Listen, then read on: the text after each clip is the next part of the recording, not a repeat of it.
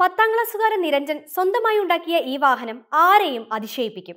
Cheruvathur technical ഹൈസ്കൂളിലെ പത്താം class വിദ്യാർത്ഥി നിരഞ്ജൻ മാടിക്കൽ നിർമ്മിച്ച വാഹനത്തിന് സവിശേഷത ഏറെ. ഗുജറിക്കടയിൽ നിന്നും മറ്റുമായി പലതരം വാഹനങ്ങളുടെ പഴയ സാമഗ്രികൾ ശേഖരിച്ചു കൊണ്ടുവന്നാണ് വാഹനമുണ്ടാക്കിയത്. ഏതുതരം വാഹനമാണെന്ന് ഒറ്റ നോട്ടത്തിൽ പറയാനാകില്ല. പൾസർ വണ്ടിയുടെയും ഓട്ടോയുടെയും സ്കൂട്ടറിന്റെയും ടയറുകളാണ് ഉപയോഗിച്ചത്. സീറ്റ് പിക്കപ്പ് വാനിന്റേത്. കാറിന്റെ സ്റ്റിയറിംഗ് ബ്രേക്ക് ആക്സിലേറ്റർ തുടങ്ങിയവയും കമ്പികളും ഘടിപ്പിച്ച് പെട്രോളിൽ ഓടുന്ന വണ്ടിയാക്കി മാറ്റാൻ മൂന്ന് മാസ പരിശ്രമം വേണ്ടി വന്നതായി നിരഞ്ജൻ പറയുന്നു.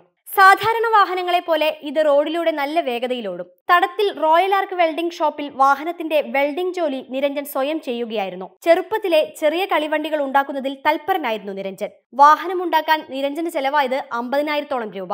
അച്ഛനമ്മമാരുടെ സഹായത്തിന് പുറമെ ബന്ധുക്കളും നാട്ടുകാരും ചെറുതും വലുതുമായ സാമ്പത്തിക സഹായം നൽകി. പഴയ വാഹനങ്ങളുടെ ഭാഗങ്ങൾ വാങ്ങാനുള്ള തുക ഇങ്ങനെ സ്വരൂപിക്കാനായി. വാഹനത്തിൽ കൂടുതൽ യന്ത്രഭാഗങ്ങൾ ഘടിപ്പിച്ച് കൂടുതൽ ഭംഗിയുള്ളതാക്കി. സ്ഥിരമായി ഓടിക്കുന്ന രീതിയിലേക്ക് മാറ്റണമെന്ന ആഗ്രഹവും നിരഞ്ജനുണ്ട്. ഭാവിയിൽ കാർഷിക യന്ത്രം രൂപപ്പെടുത്താനുള്ള പദ്ധതിയുമുണ്ട്.